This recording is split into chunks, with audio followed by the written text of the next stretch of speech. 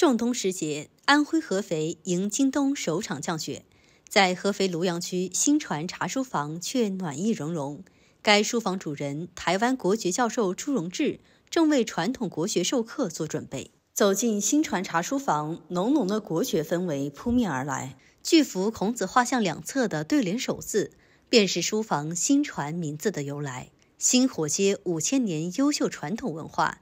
传道学，古圣贤立德、立功、立言，这也是朱荣志传道授业五十余载的人生追求。我一直认为啊，这个庄子里面薪火相传，那个薪薪尽而火传嘛，人总会过去。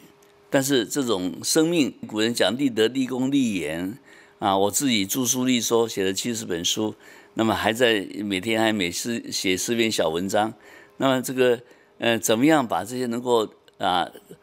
散播给更多人来受益，我我觉得这是很重要一个责任。朱荣志一九四九年出生于台湾，先后在台湾师范大学、台湾元培伊势科技大学任教。退休后，他受邀到合肥参加孟子学术研讨会，并在合肥生活逾十年。因其学国学、教国学、研究国学，所以经常被邀请到安徽高校、企业去讲课。朱荣志表示。文化是中华民族的根与魂，他从小就接受很完整的传统文化教育。彼时的台湾非常重视中华文化，小学、初中、高中共同的校训是礼义廉耻、忠孝仁爱、信义和平，所谓的四维八德。对于台当局去中国化课纲问题，朱荣志认为，传统文化课程的减少对孩子的影响太大了。我我经常有机会讲，什么是台湾人？所谓台湾人，就是居住在台湾的中国人，因为我们今天两岸的统一一定要靠文化的认同啊，因为我们啊中华文化特色就是一个家族文化啊，就是个传承。在朱荣志看来，大陆随着经济实力的增强，民众物质生活的提升。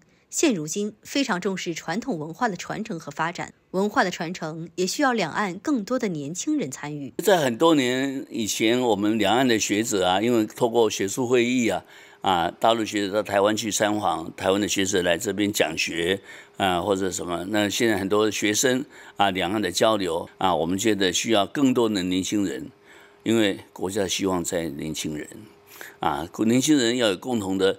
一种互相的理解、互相的接纳，那么我想这才是国家之福。朱荣志认为，对年轻一代的文化培养，师资是非常重要的。在教学时要注重方法，不能咬文嚼字，而是要做好大众化传播。我觉得我们今天谈国学，不是要做精致古人，而是要古为今用，把古人的智慧化成我们现在人的生命养料。所以要用现在的语言去诠释古人智慧。那么能够接地气嘛？但是才能够接受